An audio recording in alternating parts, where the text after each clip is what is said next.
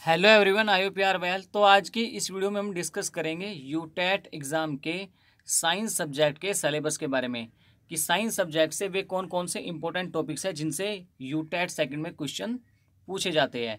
तो सबसे पहले साइंस के बेसिक सिलेबस के बारे में बात करेंगे, फिर उसकी पैडागोजी के बारे में बात करेंगे। साथ ही इस वीडियो में आपको बताएँगे कि किस स्टैंडर्ड तक एग्ज़ाम में क्वेश्चन पूछ जाते हैं और क्वेश्चंस का क्या लेवल रहता है? तो चलिए सबसे पहले बात कर लेते हैं साइंस के बेसिक सिलेबस के बारे में। तो यहाँ पे तीन सब्जेक्ट से आपसे क्वेश्चंस पूछे जाते हैं, जिसमें फिजिक्स केमिस्ट्री और बायोलॉजी ये तीनों इंक्लूड होते हैं। तो फिजिक्स से कौन कौन से इंपॉर्टेंट टॉपिक्स रहेंगे आपके?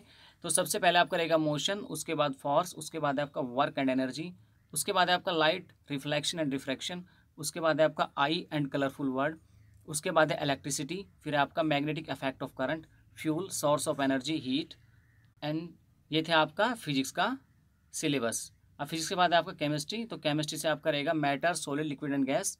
उसके बाद आपका एटम्स एंड मॉलिक्यूल्स, उसके बाद आपका एसिड, बेस एंड सॉल्ट।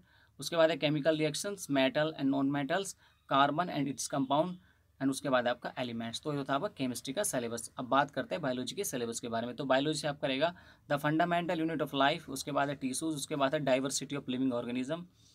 उसके बाद है आपका life process control and coordination उसके बाद है प्लांट उसके बाद है internal parts of our body और लास्ट टॉपिक है आपका हेरिडिटी एंड इवोल्यूशन तो ये तो था आपका साइंस का बेसिक सिलेबस अब बात करते हैं इसमें कि क्या आपके जो सिलेबस का क्या स्टैंडर्ड्स रहेगा? तो सबसे पहले यहाँ पे देखिए नोट वन लिखा हुआ है syllabus will be of tenth standards तो जो आपका सिलेबस है वो आपका रहेगा टेंथ स्टैंडर्ड लेवल का ही आपका सिलेबस रहेगा, यानी कि टेंथ स्टैंडर्ड से ही आपसे क्वेश्चन पूछे जाएँगे।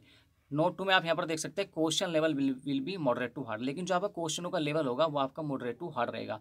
यानी कि सिलेबस तो आपका टेंथ स्टैंडर्ड ही रहेगा, लेकिन जो लेवल होगा क्वेश्चन का, वो आपका बढ़ जाएगा, वो आपका मॉडरेट टू हार्ड हो जाएगा। तो अब बात करते हैं साइंस की पैडागोजी के बारे में। तो साइंस की पैडागोजी से जो इंपॉर्टेंट टॉपिक्स है रहेंगे आपके nature and structure of science understanding the science science and technology उसके बाद आपका नेचुरल साइंस उसके बाद है इवोल्यूशन एंड इनोवेशन उसके बाद है methods of science teaching text materials problems of teaching remedial remedial teaching तो इस वीडियो में साइंस के सिलेबस के बारे में जानकारी जो आपका यूटेस सेकंड एग्ज़ाम के रिगार्डिंग काफ़ी इंपॉर्टेंट है। तो आज की वीडियो में बस इतना ही। तब तक के लिए wish all the best thank you